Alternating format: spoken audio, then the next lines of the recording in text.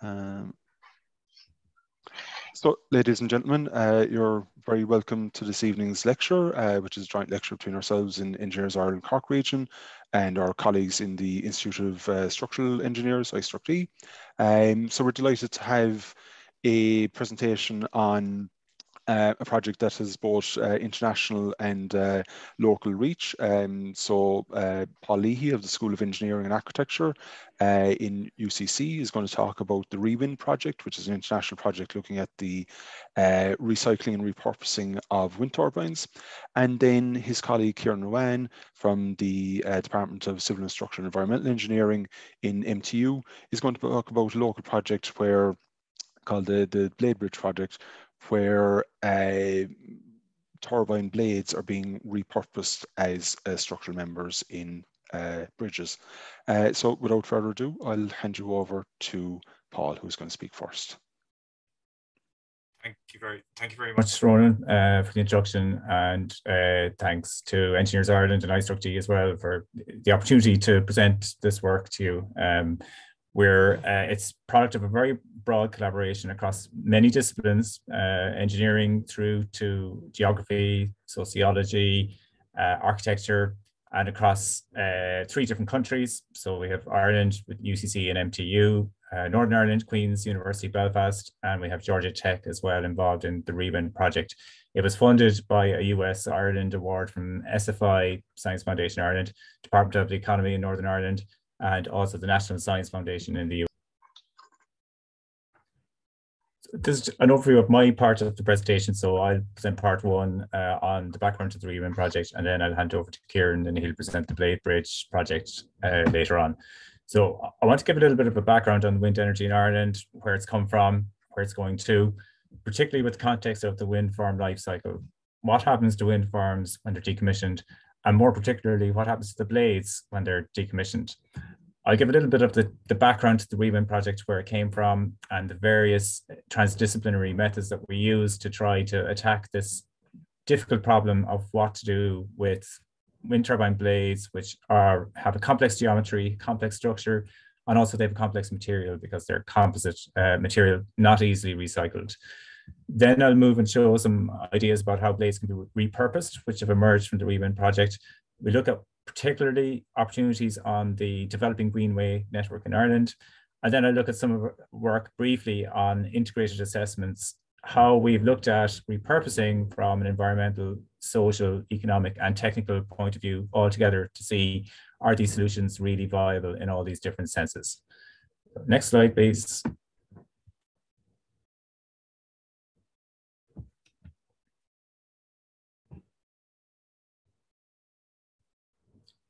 So the background you can see in the top panel here that runs from 19, uh, 1980 through to 2030. You can see the, the huge growth in, in the deployment of wind energy in Ireland. So we've moved uh, to a situation where we have now on the island, we have about uh, 6,000 megawatts of de deployed uh, wind energy. If you think that the typical modern wind turbine is around three megawatts, you know, we're, we're, talk, we're talking about 2,000 turbines. Each turbine typically has three blades. So you're talking about 6,000 blades uh, on the island of Ireland. And you can see if you look at the 2030 bar there, that that's going to grow even more by in the next decade. So you can see the growth from 153 megawatts through to 5,576 in 2020, and almost we'll have uh, 10 gigawatts or nine, uh, 10,000 megawatts by 2030. Bear in mind that the typical turbine design lifetime is 20 years, although many are continuing longer than that. That means that if you look at the growth between 2000 and 2010 on the panel there, you'll see that all that generation of wind turbines are now coming close to their decommission. This it gives you an overview of the typical life cycle of a wind farm uh, with an emphasis on the end of life. So we move from the left of the screen here where we have you know the build and develop phase. Operational phase, of course, is the longest phase, uh, so 20 plus years, and many wind farms are go for 25 or 30 years. But at some point, there will be a decision point reached where the operator has to decide do they uh, continue to operate? Um, and that's known as lifetime extension in the build in the business. So you may be able to continue for another five or maybe even 10 years. And of course you can continue to evaluate that decision. Do you go to the top of the screen which is repower? And repower the site means that you uh, replace the turbines. So you keep the wind farm in operation, but you replace the turbines, which means, of course, that you're going to be decommissioning the existing turbines. Or you may move to the right, which is a pure decommissioning decision. And either of those two options, repower or decommission, mean that these wind turbines and their blades, these GFRP, glass fiber reinforced polymer blades, will enter the end of life phase. And what do you do with them? Well, there's a whole series of options that you can see on the right here. You can sell them on. There's a second-hand market. You can repurpose them and turn them into new products. You can try to downcycle them and recover the materials. Um, so there is some value in the GFRP. Uh, you can try to recover energy and materials in cement kilns. You can go for a pure waste to energy approach and try to recover some of the energy. And then moving further down, you get into incineration and landfill, which are environmentally the least preferable solution methods. Next slide, please.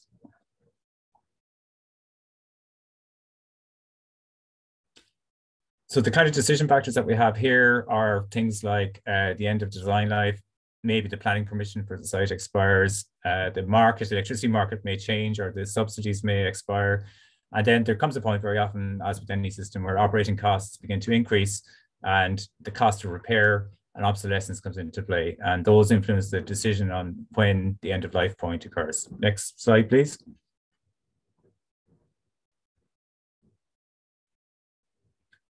So this is a circular economy challenge, what to do with these blades. They are made of, of GF, GFRP for the most part, so glass fiber reinforced polymer. It's a composite material. It's it's very difficult to uh, recycle this, and it's very difficult to disaggregate the two elements of the composite matrix. And the problem is growing, as we saw already. So annually, we expect to reach 40 million tons by 2050. And the current solutions that are used, incineration, stockpiling, landfilling, or maybe at best grinding up for aggregates, these are all at the bottom of the, the list that I showed in the previous slide. We would like to move up that list and we would like to find environmentally, what we hope are environmentally superior solutions, such as repurposing. Next slide, please. So this is the volume of waste um, in, in Ireland um, and landfill uh, will no lo soon no, no, longer be an option for end-of-life blades in Ireland. Already, um, there's a reticence to, um, on behalf of landfill operators and also on the decommissioning agents to um, put blades into landfill. Wind Europe, the industry association in Europe, have said that they want an industry-wide landfill ban in Europe by 2025. So this option will no longer be an option. We need to look at more sustainable solutions for end-of-life blades. Next slide, please. And this is where the transdisciplinary approach comes in. And I would like to just try to describe this. You know, when we started the initial talks about the ReWind project, which actually goes back to 2016, when the American and Northern Ireland partners approached us to join, uh, you know, we realized very quickly that this certainly wasn't going to be something that engineers alone could solve, and that we would have to build a team that uh, incorporated many disciplines and where they would genuinely have to try to understand each other and work together in order to come up with the truly optimal way to deal with this uh, issue. So we need environmental, social, economically, and technically sustainable repurposing solutions. So to do this, we have a team which involves engineers in UCC, um, my colleagues, Niall Dunphy in the Cleaner Production Promotion Unit and Gerard Mullally in Sociology. And then we have uh, a great set of postdocs and PhD students who, who are drawn from very you know different backgrounds, which we've assembled. The wider ReWind team as well, you know, brings in geographers, architects, as well as structural engineers and composites experts. So we have a very, very uh, broad expertise in the ReWind project, which I think has helped us to try to tackle this problem. Next slide, please.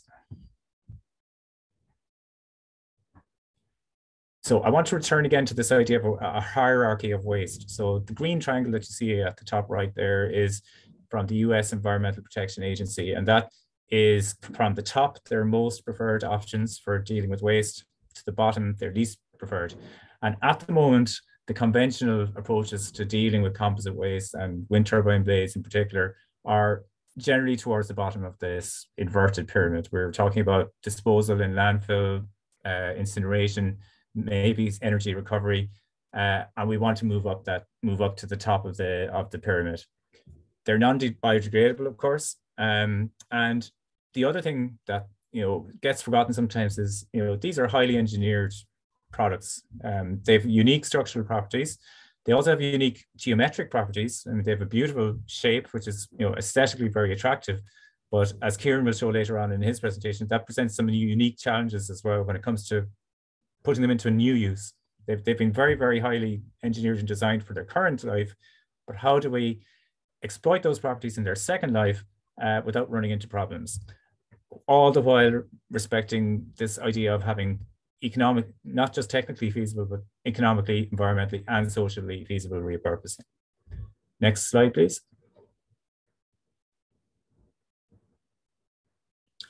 And just by way of context, this was in the news this year. I just wanted to show a picture. Um, this is not directly to do with blades, but this is, shows what happens to uh, composite materials. And these are composites, really. Um, this is a, a, clothing dump in, in Ghana. It's where a lot of Europe's um, disposable garments end up. So they, they go to markets and uh, aggregators in Ghana, and then what can't be resold, um, basically repurposed or resold, or recycled ends up in these landfills. You know, a lot of these are synthetic or mixes of synthetic and natural materials. So uh, this problem of just uh, you know producing without thinking about the end of life is leading to you know very very significant environmental problems around the world. Blades, of course, are not on the same scale in terms of volume as clothing, but they represent a similar type of problem. Next slide, please. So I'd like now to introduce the ReWind project. Uh, the goal of ReWind is to drive innovation in the reuse of decommissioned wind turbine blades. The organization of the project is that we have four kind of thematic areas, which we refer to as the thrusts. There's a wind energy thrust, which really is a, a circular economy thrust. And most of that work is done in UCC. We have a mechanical thrust, most of which is done in Belfast and Georgia Tech. We have design, which is also done in Georgia Tech and Belfast, and more recently in, in MTU. And then we have geographical information science thrust as well, analyzing where blade waste is going to arise in the future. And that's run out of Belfast. Next slide, please. So in UCC, what we're focusing on is the environmental sustainability, the social acceptability, and sustainable business models for looking at these repurposed second and third life applications and this in itself is also a complex multifactorial problem. Some of the work that we've done, which we'll show in a while, it has been informed by the UN Sustainable Development Goals. Next slide, please.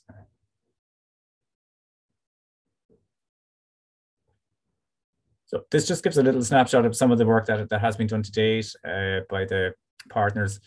When we when we first met and first started working in ReWind, we had a kind of a brainstorming exercise where we came up with a large number of repurposing concepts and um, the um, we then ran a design office exercise which whittled this down into a smaller number um, where these were selected for a kind of detailed development.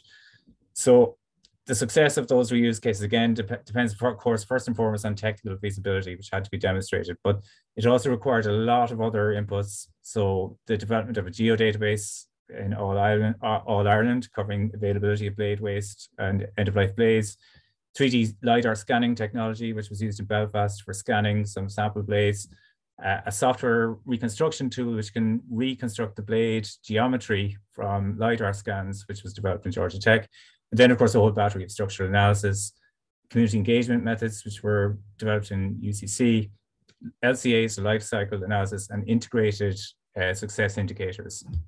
Next slide, please.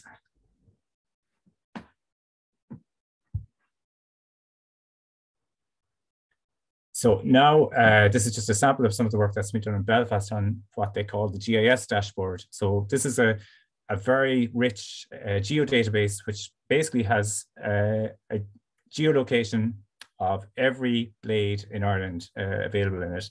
Not only that, it has the meta, really valuable metadata, such as the turbine model, the length of the blade, uh, the date it was uh, installed, and a projected date of decommissioning. So the beauty of this tool is that it allows the team to estimate where and when the blade waste will become available. And the where is actually very, very important because, you know, as we all know, moving large items like wind turbine blades around is expensive, it's logistically challenging. And for us in ReWind, it's important as well because it adds to the the carbon and energy footprint of any second life application. Next slide, please. And just as a sample, this kind of heat map here just shows where the you know the future uh, blade race material is likely to come, and you can see the hotspots in the west coast and in the northwest where the wind farm, the generations of wind farms which came in the you know in the 2000s will enter decommissioning in the future. Next slide, please. So now to move to some second life applications, some use cases for repurposed blades. I won't be going into any great detail on these. I just want to give a, an overview as an introduction to the second part of the talk.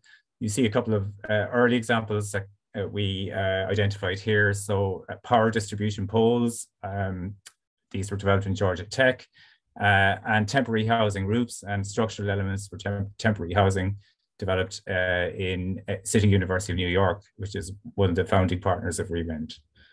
Next slide, please. And I also just wanted to show uh, the, you can see in the foreground, the LiDAR uh, scanning unit. So these blades, uh, which you see here, will feature again later on in Kieran's talk. Uh, this is where they were, um, where we found them, which was with a company called Everrun, who, who donated them to Rewind in Belfast. The Belfast team went and scanned these with 3D LiDAR scans, so we had an accurate uh, picture of the geometry. One of the problems with repurposing blades is that generally we don't have access to the original uh, geometry. So we don't have the, the detailed design from the original manufacturer. So we have to do quite a bit of uh, reverse engineering in order to not only get the geometric properties of the blades, but also try to calculate the structural properties. Next slide, please. This map here just shows the opportunity that we have for, um, in particular, for infrastructure and greenways. And, you know, there's expected to be 240 kilometers of greenways in Ireland in the Republic by 2022. And there are up to 1,000 kilometers of former transport routes in Northern Ireland suitable for greenways. And one of our PhD students, Angie Nagle, realized that there is an opportunity for uh, deployment of infrastructure, sustainable infrastructure on a sustainable transport network. Next slide, please. And following this kind of uh, realization uh, and looking at the, the, the, rollout of greenways, one example came up, which was the, the Old Midleton Greenway in Cork. And then this really sparked um, the connection and the expansion of Rewind to uh, Kieran's team in MTU, and of course Cork County Council as well. This is 23 kilometre route under development in East Cork, and it will open um, next year uh, in sections and a suitable location. It was surveyed and walked, and a suitable location was found for a potential uh, bridge crossing, which could be constructed from decommissioned wind turbine blades. Next slide, please. So part of the work that was done in UCC was looking at the looking at the environmental impacts, so life cycle uh, assessment. Um, what we chose as the functional unit was uh, consumption or if you like, disposition of four and a half tons of blade waste and absorbing it for 60 years. So keeping it out of the waste cycle for 60 years, which could be the lifespan of a bridge. For this particular study, the blades were transported from Belfast to Cork, which is the actual blades that we're using on the East Cork uh, Bridge project. And this will displace some conventional materials. So some of the blade will displace steel girders, uh, some will unfortunately end up in landfill if it's not possible to incorporate it in the bridge. There are some other materials, of course, there's additional concrete that's needed on site and epoxy and some other materials. Uh, but these are the assumptions behind the environmental analysis. Uh, next slide, please. So when that numbers were run and we looked at the, the uh, relative environmental impacts of different end-of-life solutions for blades, uh, there is two options here, which you see as downward or negative bars. So those are uh, environmental impacts. The dark green are the bridge and the light green is co-processing. So putting blades into uh, cement kilns and using them as fuel and material for cement kiln. So that particular uh, solution is much lower down the waste hierarchy because it's not um, it's it's not preserving some of the original properties of the blades, and we can see that co-processing fares worse on all of these uh, four categories. So human health impacts, ecosystem impacts, climate change impacts, and resource impacts than using blades in a solution like a, a bridge where you repurpose them. Next slide, please. And another piece of work which was done, and as it was done in uh, by our team in UCC, Peter Deeney, a postdoc, looked at this, was uh, taking a, a multi-criteria decision analysis approach and looking at different uh, types of uh, solutions for end of life. So you see different colored bars on the right hand side here. In black, there's landfill, there's incineration in yellow. The co-processing in cement kilns is green. Transforming blades into furniture is blue and bridge fabrication in, in red. And these all have different costs and benefits in terms of environmental, social, and economic uh, uh, costs. Uh, furniture making, for example, has got quite a high benefit in terms of employment in local areas. But you can see the general trend here in all categories is that the, the repurposing applications, so furniture making and bridge fabrication, fares better than the, the conventional landfill and incineration routes. And whatever repurposing is done in future, it has to be sustainable in terms of all those categories. Um, there's different types of values involved here, not just monetary values alone. Um, the values that communities themselves have, where the blades are located and where the, the second life is likely to be, have to be considered in this. And this was also one of the things that uh, ReWind sought to do was to try and find out are people receptive to this type of um, activity in their community and what do they uh, what would they actually envisage for you know the second life of these um, sometimes contentious pieces of infrastructure that they have already in their communities. So repurposing scores well um, on these integrated scores compared to conventional end-of-life disposal. Next slide, please. And in terms of greenways, you know, the greenway, we, we see that there is a big opportunity here. It's technically feasible and as Kieran will show later on, and the environmental analysis shows that it's also environmentally preferable to conventional solutions. Next slide, please. And now I'd like to quickly just cycle through four ideas from our design catalog. If uh, the QR code is properly visible at the bottom of the screen here, you can, you can scan it and you can, you can get a link to our catalog, which is compiled by uh, our colleagues in Georgia Tech. Some really, really nice renders of some really uh, interesting ideas for, for blades. I'd like to quickly go through four. So there's the bridge here, and in the next slide, you can just cycle through these actually, Kieran, just quickly. There's a blade pole, uh, which is the power distribution pole, or can be used as a cell phone tower. There's the blade barrier, which is a noise barrier for highways or motorways, and then also a, sh a shelter. Which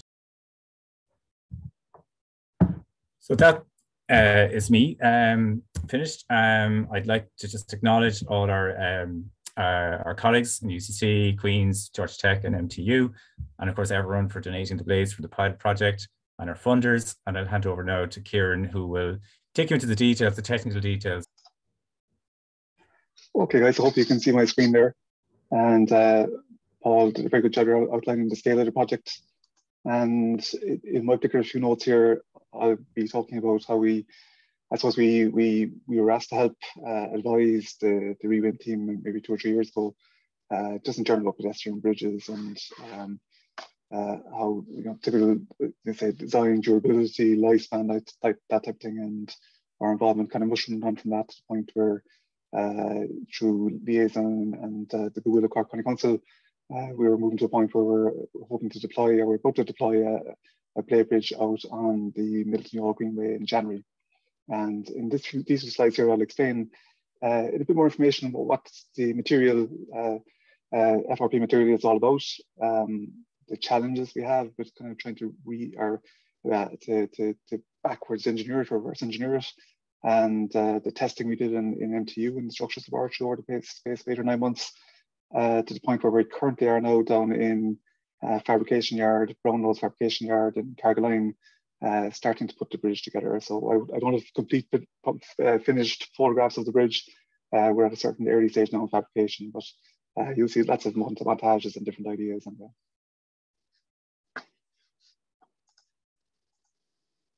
okay, so uh, Paul has alluded to this a few times in his notes. The the wind blade is a complex item. Uh, its geometry changes continuously along its length and it twists as well to get the aerofoil uh, shape and the best the best shape for, for generating or uh, I suppose power out of it. Um, but in general, on the left hand side up the top here, it's a, a circular cross section at the end called the root. And the root basically is uh, kind of, it's where the, obviously where the, the blade is attached to the turbine itself. And then as you move uh, from the left to the right, you're moving, moving into the, the airfoil cross sections, uh, which is also designed to get the, the maximum lift on the blade, etc., etc. And if you take a cross section through the blade, uh, generally speaking, the part of the blade that's, that's uh, leading into the wind is called the leading edge, and the bit that's falling behind is the trailing edge. Uh, from a structural point of view, uh, the blade is made out of uh, an FRP fiber reinforced plastic shell. Uh, and it's, it's, that shell is kind of strengthened in that zone there called the spar cap, where the material is thickened and the shear webs added. And that's particularly of interest to us as engineers, you know, starting to consider how we could use these blades uh, as bridge beams, let's say, you know. So just a quick few notes on, on fiber reinforced polymers, and I've taken these notes from uh, the, the excellent course run by, by uh, TU Delft on uh, FRP design construction engineers, which I recently completed, and they've asked us to advertise the course. So I thought by using their notes, I would do a little bit of that. Um, so fiber reinforced polymers, right? It's composite material. Uh, it's comprised of fibers, which have the load bearing function. And those fibers are then contained within a resin matrix. And the matrix um, the resin basically has the function of fixing the fibers in a certain direction, uh, transferring the forces between the fibers, preventing buckling of the fibers, and also protecting the fibers from degradation through moisture, environment, heat, etc. Now, uh, the, fibers are tiny, they're grouped into, uh, there's mostly referred to as filaments, and they're, they're mostly into rovings, they be bundled together and into fiber mats.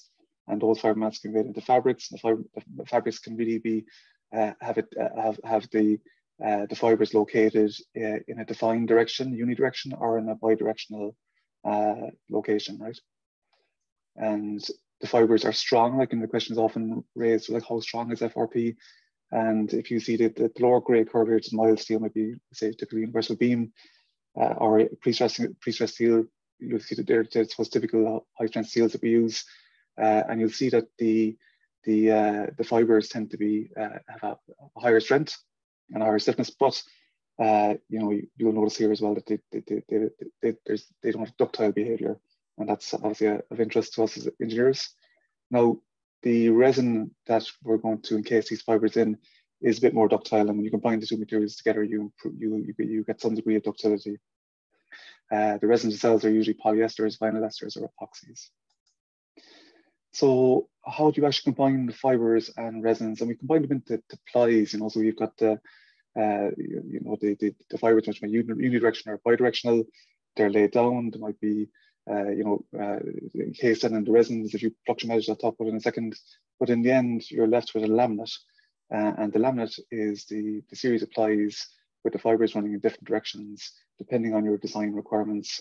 And so like if you had an element that would say primarily subject to axial load, you might have uh, predominant fibers located in, in the, what we call the zero degree direction along the longitudinal axis.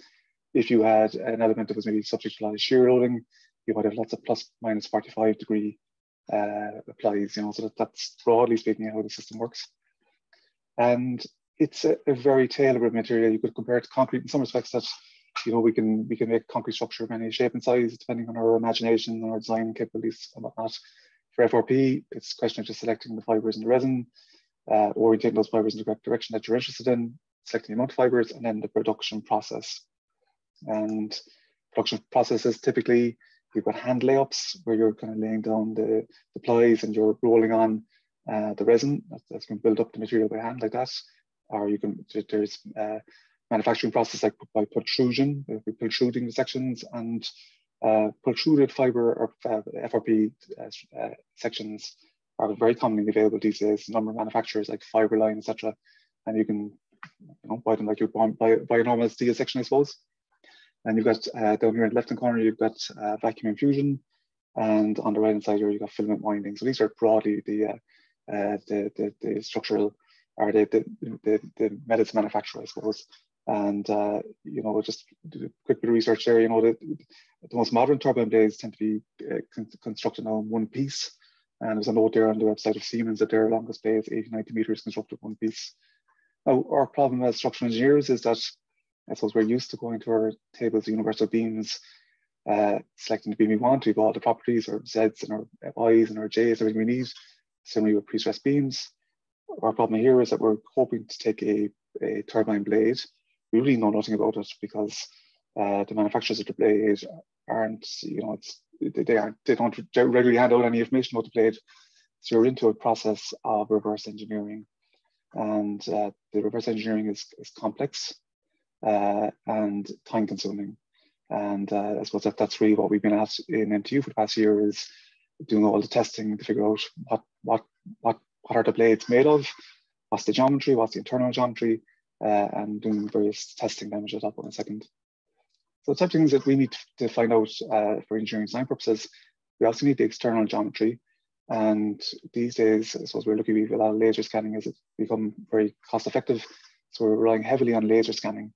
And you'll see in the development of the, the bridge for Midleton uh, that laser scanning was done three or four times along the, the journey from uh, you know the, the, blades stored in the yard in Belfast before they're, they're, where they are currently deployed on Carrigaline in the fabrication yard.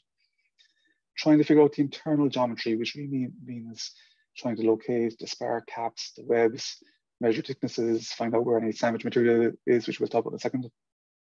And then the material types, you know, what kind of fibers you have, what kind of resins you have, the laminates, etc., etc. We're trying to measure, uh, you know, what percentage of fibers are in the resin, etc., etc. Uh, strength and stiffness in the longitudinal and transverse directions. And FRP typically uh, the material is has two strong directions. It could be stronger in one direction versus the other direction, a bit like timber perhaps. Uh, so trying to figure out stiffness uh, in two directions, that's quite important for obviously the, the uh, strength calculations. And then the global blade structural properties along length. I mentioned basically EI in the X direction, EI in the Y direction, G and J torsion and, and shear moduli and all that type of thing, again, varying in two directions. Oh, there is a lot of design guidance available uh, for the design of FRP structures and uh, this document here, GRC document on 2016 and updated 2017 is has a lot of very detailed information. That's what we've been using primarily for design purposes. Uh, but there's a CIRIA guide as well from recent years. And as recently as eight or nine months ago, uh, a draft CEN technical specification for FRP design was published. And that really is uh, a forerunner to uh, a Eurocode for FRP design, uh, which is likely to be published in the next round of updates to the structural Eurocodes, uh, which is probably 2025 or thereabouts. So there's plenty of information to design uh, the, the, uh, the, the, material. It's trying to go backwards and figure out what the material is made of and you don't know what it's made of essentially. So Paul mentioned already the Youghal Greenway, 23 kilometers. Cork County Council in fairness, have been superb to us, just allowing us to pitch the idea of, of, of deploying a, a, blade bridge onto the Greenway. Um, you know, they, we walked the site, we came up with, we looked at various options, and we decided to, to uh, that we're going to locate the, the, the, the bridge at this particular structure here. It's an old railway bridge. Um, the deck obviously has fallen over time. We're left with water and beams there and it's uh, a, it's a flood relief channel essentially for Dungourney River. Uh, so I'm sure on a day like today, there's plenty of water here. Uh, a lot of the time it's it's dry, and we'll have some general cross sections of the, the or some general uh, dimensional details in a second. But that's just a view of the of the greenway from earlier in the year, and I have this uh, a short video here. Um, just so you can see the, the bridge abutments there, uh, good solid abutments, uh, 750 tick with some engineering block on the top.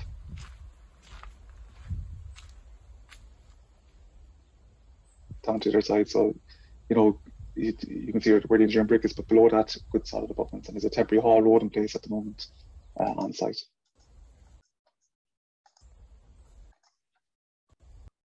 Right, so general broad, like if that's the kind of uh, plan view, I suppose a detailed survey of the existing bridge, span is about five meters, the width is three to four meters, uh, the skew is about 18 degrees. And maybe the original plan back in a year ago was maybe look at like redecking the bridge, kind of common use these inverted T-beams, uh, solid slab infill decks, uh, just cap off the abutments with a, a, uh, kind of bearing plinth to take the um, to take the, the new bridge deck. So the original concepts, and these were developed by uh, Zoe Zhang, a student and part of the ReWind team in Georgia Tech. And Zoe actually came over to work with us in MTU for five months earlier this year. Uh, this kind of idea, just take the, you know, the, take the deepest part of the blade and uh, use that that kind of concept with deck then spanning between the two blades. And there's further concept designs there. Uh, or even you know, photo photomontages as uh, the as built or as proposed. Then over time, with our say discussions with Cork County Council and uh, you know developing the, the idea further, it was felt that you know aesthetically and uh, you know trying to tell the, the I suppose the general public that this was a, a turbine blade in the past, it might be nice to see the whole blade. So the design has been progressing probably since mid-year based on the whole blade design. And the whole blade actually project beyond uh, the back of the bridge a little bit so that as you approach from uh, one side, you'll see the fixings that normally go into the turbine, just to make it a, a feature, feature of interest. Now, wind blade alignment, this really is our biggest problem. Uh, you know, it has been our biggest problem to date, uh, working with the geometry of the blade. And uh, just you get a feel there that, you know, it, it the blade kind of, there's a twist in the blade. Uh, so, you know, every, if you take a cross section every 100 millimeters, there's a different cross section uh, once you move away from the root. And that also has to be allowed for in our design. So laser scanning, big part of our project. So this, is, as Paul mentioned, was laser scanning of the blades up in the yard in Belfast before they came down. This then is the blades arriving into our structures yard in uh, MTU last last December, a year ago, a day not unlike today in some respects. Um, now the blades, you can see just in the background there, we have a few blades in the yard. Uh, you know, they've also been sitting in the yard in Belfast for many years. Uh, the, the, the, blades have got a bit of hard work and a bit of velvet grease actually do scrub up very well. Uh, in the college, we were just a bit trepidatious. We'd never really worked with uh, FRP materials before. And we had a few video seminars with our colleagues in Georgia Tech, just with uh, expertise on how to cut the blades. And it turns out the blades are actually extremely easy to work with. Uh, and it's, you know, they, they cut very simply with uh, consaws and whatnot. And this is a general cross section through the blade. Um, this is the, the spar, spar cap area, or spar box area, and you can see the webs here. And that's that's the strongest part of the blade, and that's the part of the blade we want to tap into, uh, just for, for, for acting as say an edge beam, let's say. And you can see the thickness of the, the lamina started to varies as you go around. And occasionally as well, it's 548 splits into two, and it's a sandwich filler material. That just gives increased sectional properties in that section of the, of the, the, the blade up the top there. So that's the general cross section through the blade there. Now that, that cable going through there is like the older generation blades had a kind of a movable tip to help with control and whatnot. So that's an old control cable that's through the blade. So we cut the blade, we, we added a few blades to work with. So one blade, blade became a sacrificial blade in some respects to be cut into pieces and, and scanned. And this is Barry from HD Surveys, who kindly did further laser scans of parts of the blade uh, to get more, more geometrical information. And then you're basically trying to really from those scans, internal and external scans, putting a full three-dimensional model of the uh, blade together. Right, and then a question of moving on, like, you know, again, we don't know anything about these blades. We don't know exactly what the fiber percentage, the type of fibers, all that kind of stuff. We don't know they are very glass fiber, etc. But we don't know the fiber content. Um, so we spent several months in the structural laboratory in MTU doing static load tests, uh, connection testing, uh, uh FRP burnout tests, which are tests which allow you to figure out what the, the, the, the, what's the volume fraction of fibers uh, and what kind of laminates you have, or what kind of plies you have present, and what direction the fibers are generally going in. Uh, so we'll have a look at some of these. Um, so this is our heavy structures rig in, in MTU. We cut out a kind of section of the blade. Uh, you know, we after that, that actually cut away. But we, we know we're going to be using this part of the blade for, for, for the main bridge. Uh, so this blade, we knew we were testing a slightly lighter part of the blade, which would give good information in any case. We know that the other blade parts would be stronger. It's a what, what you might call a four-point bending test, and we're trying to create a nice bending moment. So the video I'm going to show you is about it's about 55 seconds long, right? And uh, you'll see the blade being tested to failure and you, audio, you, you hear the, the, the, hydraulic system working hard and all this, but as it's putting the load on, Uh, the blade fails at about 90 ton, uh, so that, you know it's significant enough kind of a uh, sorry yeah, that, that load on it. Um, uh, and then towards the end, you'll see that there is a sudden failure uh, in the section.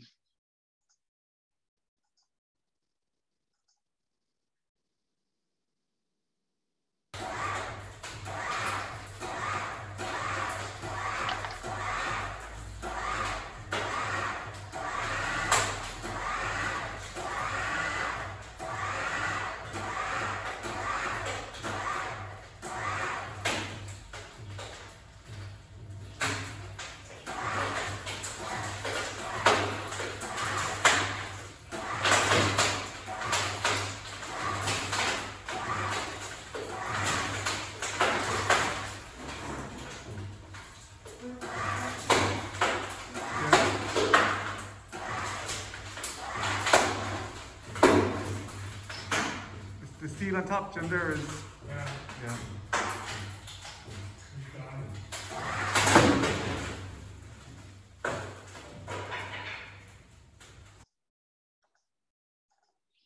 As you just there at the last two minutes of the, of the, seconds of the clip there, that there was a sudden drop.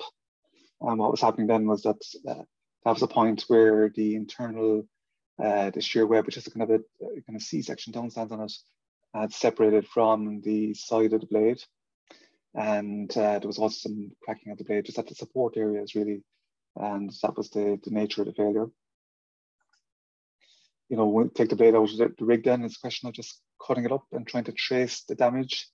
And you know taking the 100 mil sections and, and, just tracing the damage and seeing exactly where the blade had failed. And generally it's in the support areas was in the support areas. And I, I actually mentioned 90 ton I meant to say 90 kilonewtons um, so about 9 ton um, is where it failed, and then you would start of unusual behavior because the blade was then sort of in two different parts. Uh, but generally, it's a linear, not a huge amount of ductility. Uh, failure by separation is always going to be maybe a sort of a brittle failure in some respects, uh, but at, at, a load of about nine ton. Then we're moving on to connection tests, a series of connection tests. Uh, we know we've got to connect a deck into the side of the blade. Uh, the, for this particular bridge, we opted to use uh, steel connections and steel beams or steel cross members into the side of the structure. You could use pull through sections, um, but maybe that's in a future, future iteration. Um, so we stuck with steel and a series of, of test connections. And what we're doing here basically is we have a typical bracket and we have two 12 mil bolts and we're loading directly uh, on top of the bracket. Uh, we're looking at, say, everyday bolts, which are grade 8.8 bolts, uh, then we're looking at blind bolts, and blind bolts are a kind of proprietary system. Uh, they're kind of a bolt which can be which can be used. Let's say if you're trying to attach something to a hollow box section, and you can't access the inside of the hollow box section. Uh, a blind bolt is a type of device that allows you to do that. And we also looked at putting 12 mil diameter threaded bar uh, through the section. And like this is us post post test very little damage to the, this is up going through the, the, the downstand from this web above our heads here, and the downstand in the kind of spar, spar cap area, and practically no damage at all uh, to the blade. Uh, this is just passing through the, the, the rods, the, the tie rods, uh, the, uh, the thread bar. And in that case, we, you know, that was going through the, the, the, the shell area away from the thickened section of the, of the, the, the web. And we get a little bit of bearing failure through the material, nothing catastrophic, and you get a lot of, in this case, we got deformation of the bar as well. And these then are the blind bolts. and the blind bolts, again, these are allowing you to fix onto one side when you, when you don't want to access.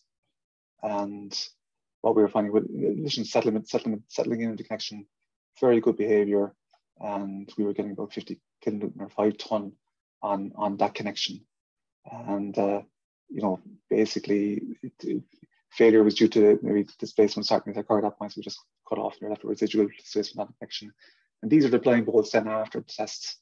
And you can see a little bit of deformation of the shank of the bolt. Um, and the, uh, I should put a photograph there, but the, the, the, the, uh, the blade side itself uh, had no damage on it at all. Then you've got GFRP burnout tests and this is we we did many many of these, and when our our, our colleague Zoe Zhang was over from Georgia Tech with us at the start of the year, uh, she did an awful lot of these tests, and this is a standardized test actually. There's an ASTM procedure for it. You take out a, you cut out a token or a, sample of the blade material. Uh, you don't see the, the, purpose of the test really is to find out uh, what kind of fibers do you have, what's the percentage of fibers, etc. So you cut out your token. It goes into a hot oven with 600 degrees Celsius for about an hour and 20 minutes. Uh, that burns off the resin. And then you're left with the stack of uh, plies and you can peel them apart and you can actually weigh uh, and do volumetric calculations see what, what's the percentage of, of, fiber volume in your overall token. And you can also uh, differentiate between the different different uh, plies. Like there's a, a 90 degree ply, there's a unidirectional ply, there's a, a 45 degree ply, and these these feed directly into our design calculations. Uh, so we, we build our final models. Most final programs these days have a composite tool which allows you to uh, add in your, your laminate, your plies, and define the overall laminate, and it'll help calculate out the various material characteristics. So the burnout test is a very important uh, part of the process of reverse engineering because uh, it gives us great information on, on the material itself. And then we're constructing models. I just took these from uh, Dr. Russell Gentry in Georgia Tech, and these are LS Dyna FEA models. And we're building models similar to this ourselves using LUSAS, which are regular FE program to be in the department and that allows us to model composites as well. But you can see, you know, the, the, the, the various ply thicknesses are modeled individually. And, and this is how we, we look at, uh, you know, uh, pushing the blade, or examining the behavior of the blade beyond the point.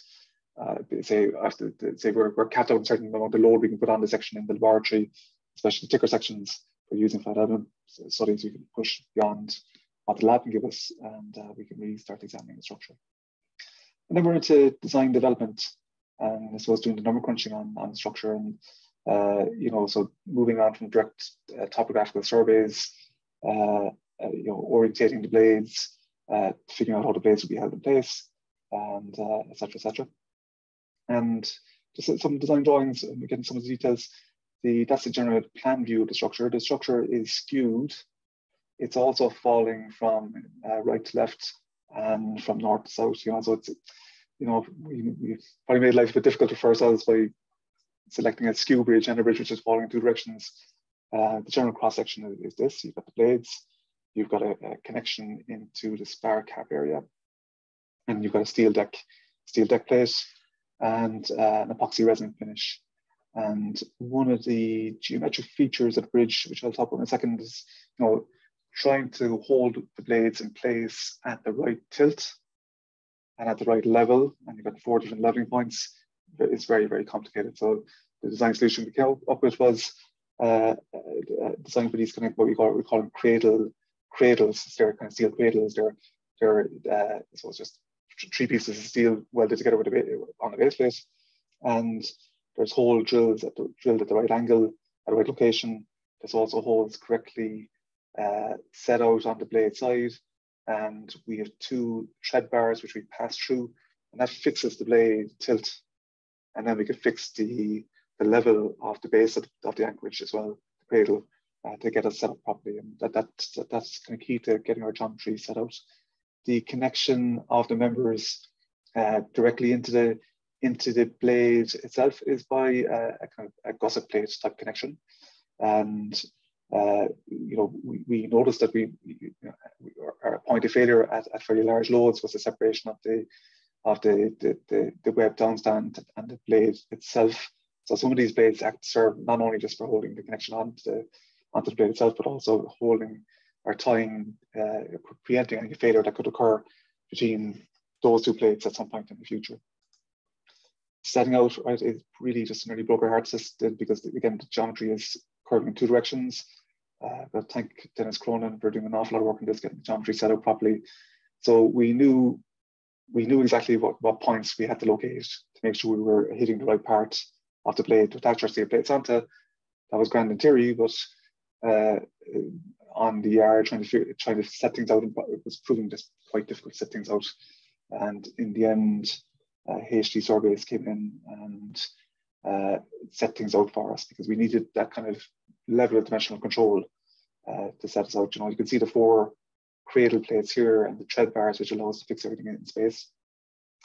parapets, no parapets, so we're still talking about parapets actually with the council and uh, Council and, and, the landscape architects for the overall greenway have developed some concepts for parapets. Uh, this is one that we're looking at at the moment. That's uh, the landscape architects Paul Hogarth company. Uh, but just construction sequence, like basically the process is to, to I suppose, uh, you saw the abutments uh, at the earlier stage of the top there. Those abutments have to be, I suppose, tied up, cleaned off, strengthened, just repaired, and all the rest of it. They're in very good condition at the moment. we had to do a, a concrete sill uh, then we'll be installing our, our cradle plates. These thread bars are shown at the moment, they'll be slided out, let the blade drop in, and they'll be slided back in to hold the blade in position. Then we're we've dro dropping the blades in place. There's reinforcements to be added to, to create these upstart plinths and encase the tread bars. It's question adding the steelwork then and the deck and the parapets. Again, parapets yet to be finalized, but it may be something like this and uh, then there's an epoxy resin, say Bridgemaster anti-skid surfacing type of uh, surface the plate, and that'll tie in then with the greenway itself. So this is where we are at the moment. We're down in, in Brownlows in Carrigaline. We be shift, uh, I suppose, our operations from the structures yard in, in MTU uh, down to Carrigaline. We just we didn't really have enough space in the college to, to start putting the bridge together. And uh, we needed a bit of expertise as well, just on the fabrication side. Um, you can see the blade. This is the, one of the blades arriving the front. And the thing about this is that we we took five we, we took a, a series of blades in from everyone in Belfast. Uh, three of them in, worked on in the, in the in the yard and MTU. They're still there, causing annoyance to the rest of my colleagues, I'm no doubt. So um, we have blades stored uh, courtesy of Lemac as well up in Forge Hill. And so the blades we're using for the bridge are the best of blades we took down uh, this is after a morning scrubbing and polishing. Uh, myself and my colleague Angie Nagle just literally washing the blades by hand and scrubbing them, and they do they do clean up very well. Then setting the blades out. So we did we did some initial setting out of blades to uh, at least get the anchorage plates, cradle plates set out in the right uh, plane and right space, and the numbers were just there was something quite not quite right with the numbers in, uh, setting out wise. Uh, so we need to do another laser scan of these two blades. And what we found, like these are first, the blades that we're using at the moment are early generation wind blades, probably had a certain amount of hand layup manufacturing. And there was geometrical differences between the blades. Uh, so HD surveys came in back and they rescanned the blades for us, uh, which required uh, our colleague Dennis Cronin to remodel the geometry uh, and get the thing set out again. Uh, so this then is the blade in the yard at the moment or to play one of the blades, set out on its anchorages at the at the right tilt, and we'll be adjusting. We'll be, we'll be the levels will be corrected and uh, are corrected at the moment by just uh, lifting. Uh, if that's zero zero level on the right hand side, that has to be lifted about 115 millimeters on the left hand side to get the fall. It's on the bridge, and similarly on the blade, it's on under off the picture here on the right hand side. So then you're trying to you know manufacture or fabricate steel fabrication plates to suit the geometry of the of the blade. And this again, you know, the blade is, is curving in two directions. Uh, so it, it, requires a degree of expertise uh, from the, the, the, skilled fabricators in Brownlows, and they have the equipment and various heavy duty presses and whatnot. And you know, we're achieving like this is just a trial fit out there, the, tack welding onto the uh, the receiving plate. Um, so like we're, we're getting good success at the moment, just preparing these fabrication details. And fabrication is progressing to the point now where we'd expect that we'll have the all the work fabricated and in place uh, before we break for Christmas. Okay, so this is where we are at the moment. We're completing fabrication in December for Christmas. Uh, our steelwork has to go to the galvanizing plant in early January, back into the yard in Carrigaline then for assembly and load testing, kind of load testing with kind of sandbags, that type of thing and then we're aiming to deploy the bridge in January 2022. I feel guilty now because I, I wish we were, uh, this talk was maybe in a month's time or two months' time, but that's where we are at the moment. And um, uh, just to conclude, uh, a few acknowledgements. I just want to particularly acknowledge uh, Cork County Council's help to us. Just a particular note of appreciation. I know they've been very accepting and putting up with us on the project. Uh, Cormac one initially for you know being receptive to the idea. Claire Cronin, uh, the site team, Rory O'Shea, Will Downey and colleagues, John Conroy, Kevin Murray, much appreciated.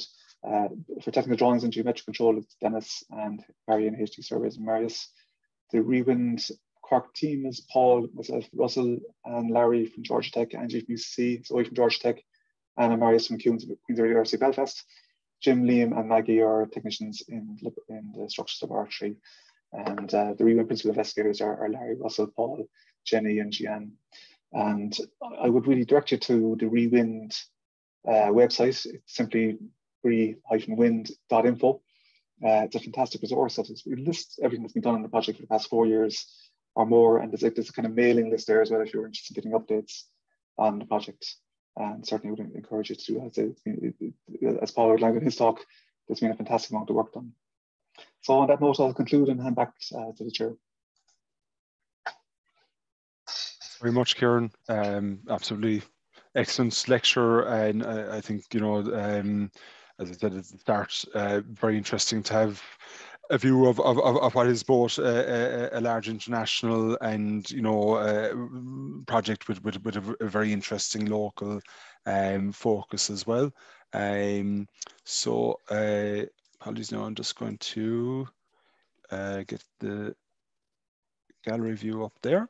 Um, so folks, if you would like to ask some questions, and I have I have seen a few come in there, uh, you can use the Q&A function, uh, which is at the bottom of your screens. Um, I know, Paul, you've perhaps answered one or two, but I might just read them out again, just that um, I suppose everybody in the audience kind of gets the, the, the, the benefit of it. Um, so I suppose the first one that had come in um, from Declan Whelan was uh, he was just asking if you could explain a bit further about the um, the concept of, of making furniture from the, the blades.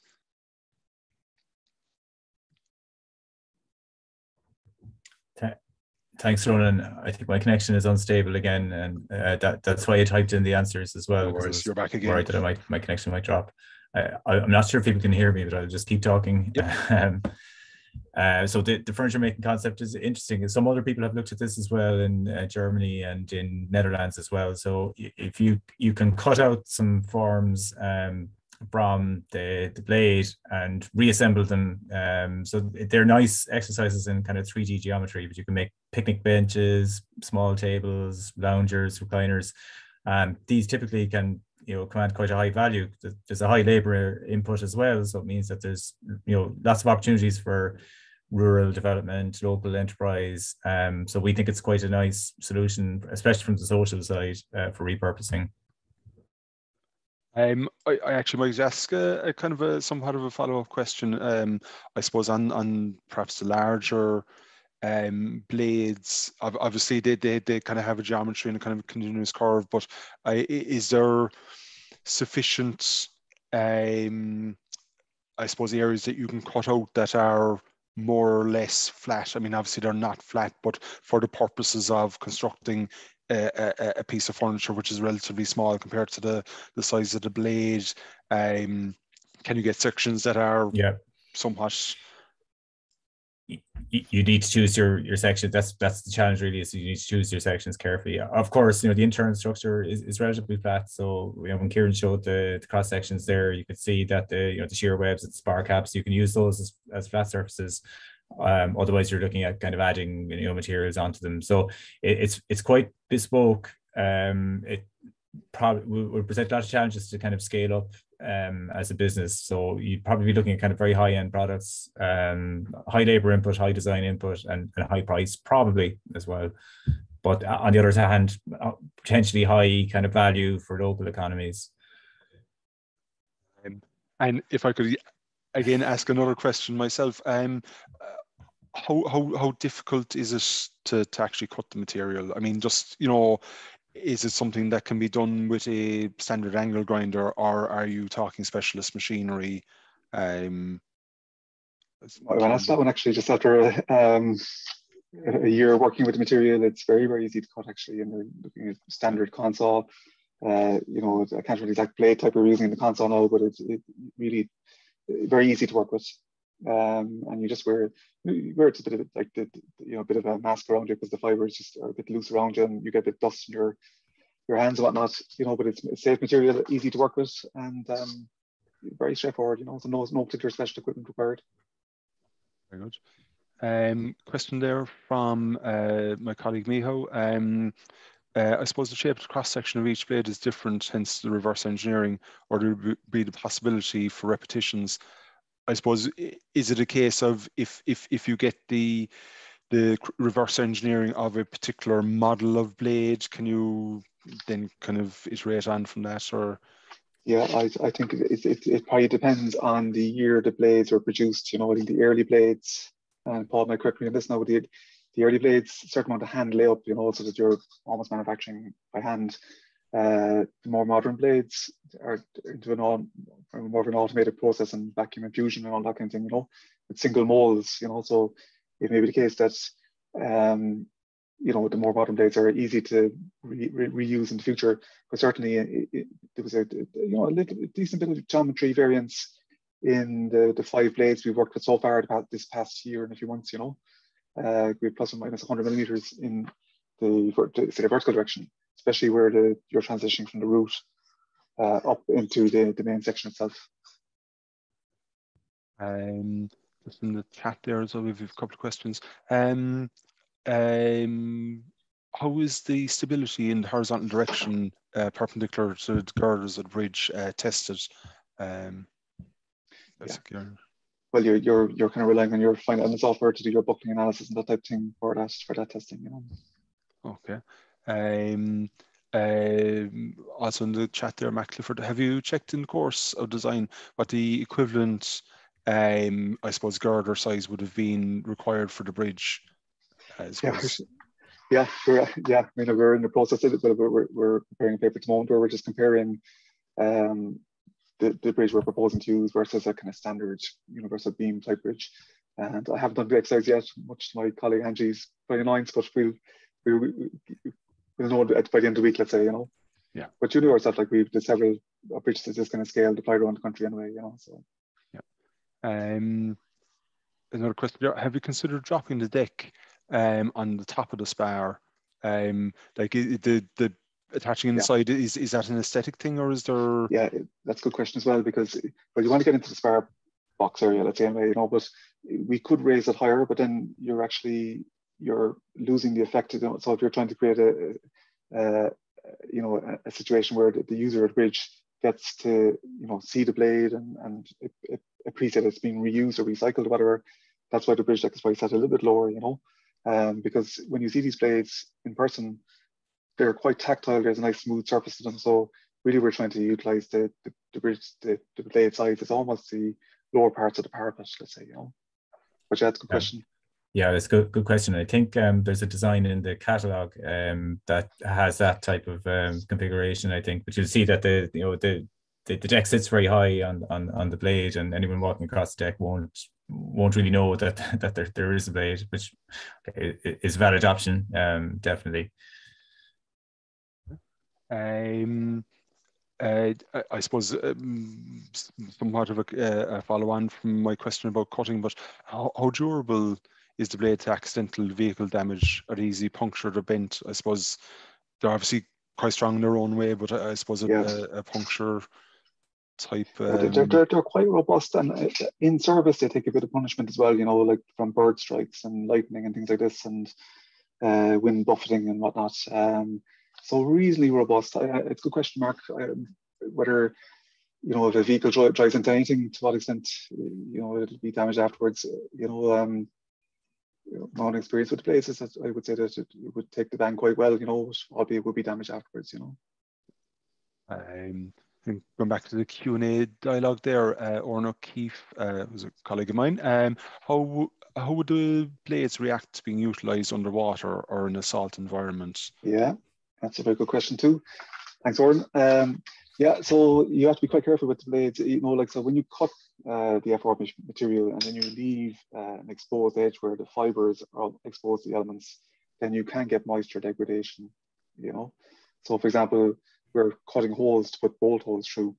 You've got to reseal the annulus uh, to prevent any moisture ingress. But they are quite sure once you once you once you're satisfied that you you're excluding moisture from the overall FRP, uh, uh, then they are quite robust. You know, so they and they are used. For example, uh, you just mentioned spent the past few months kind of doing this course online with uh, TU Delft, and they they use the FRP generally for an awful lot of lock structures and maritime marine structures like that, and they're heavily used and have been placed for many, many years. So once you're you're you're not exposing frayed edges to water, you don't have a problem, you know. Um, and then we've, um, I think maybe the last two questions about from Liam Duffy. Uh, I suspect you might have answered um, the, the, the first one. Uh, given the variety and dimensions of the blade, um, you will, will you need to reverse engineer for each type of blade and size to establish their properties? And I suppose that's what you were saying about the, the newer the blades, they're more um, yeah. uniform in their in their in their construction. Um, and I suppose the second question then, Liam had uh, in terms of durability, what's the expected lifespan um, of the material? Yeah, that's good. Thanks, Liam. Yeah, just in the first question there, like, the, yeah, there is this, that's what that is the challenge that there is a certain amount of reverse engineering and the colleagues in Georgia Tech have developed software called the Blade Machine, which, which really based on laser scans and other bits and pieces can help put together a reverse engineered model. Uh, in terms of lifespan, um, we've we don't see an issue with 50 years. And I know whether we get 120 years out of it, I don't know to be honest. And I, I, I come back to a more detailed answer than that because I wouldn't mind getting uh, our colleagues in Georgia Tech, uh, said Larry and Russell in would have a better handle on, on durability. But, but no immediate issues. Like once you can, once the, the structure remains uh, like undamaged, it is a very long lasting material, you know. Um, as always, I said last question, but there's one more. Uh, Ron McHale was uh, wondering, um, uh, have, have, you looked at actually identifying the particular resin in the blades, and if so, um, how and does this then impact the design, the the, the engineering, the reuse? Yeah. So, uh, in short answer, we haven't done a huge amount of work on these blades, but uh, you know, when you're designing FRP as a new material as a designer, uh, there are pluses and minuses to each of the types of resins that we use, you know. And uh, no, we're satisfied. Like in, in all cases, you're talking about a structure uh, which is already a design structural element taking significant forces. So usually it's not a big issue that we're worried about the wrong type of resin might, might have been used, let's say, you know. Um, so look, folks, um, I think that was the, the last question, and I, I suppose we're, we're kind of at quarter past eight. So I might uh, bring bring the evening to a close. Um, so, you know, uh, Paul and Kieran, thank you very much for a very, very genuinely very interesting lecture. Um, you know, I think uh, we, we, we, had quite a good attendance and, and I think the important thing is we had very good engagement in the Q&A, which is always a good sign of, of, of, of an interesting lecture. Um, my, I'll tip my hat to both of you for, uh, I know we had some technical issues, but uh, you, you, handled it like pros. You can tell that you're, you're used to public speaking. Um, I was joking offline that we might get a, job for Kieran in the late late show, you know, kind of roll it again there, uh, yeah. uh, Roisin. um, but uh, so I'll, I'll, I'll finish up by again thanking you on behalf of Engineers Ireland Cork Region and the Institute of Structural Engineers for co-hosting tonight, on behalf of the attendees and the members. Um, and uh, look, we we hope to have you back again at some other point, either to, to talk about this project or maybe maybe again other aspects of the the the, the ReWind project. Um, so I suppose in terms of Engineers Ireland Cork region, we're finishing up for uh, the Christmas break and we'll be back again in the new year. So keep an eye on the Engineers Ireland website. Um, and likewise, I'm sure uh, our colleagues in iStructE have, uh, have some interesting events coming up. So keep an eye on uh, their website and their social media as well. Uh, so folks, without further ado, uh, thank you and good night. Thanks, everybody. Thanks, everyone. Thank you. Cheers.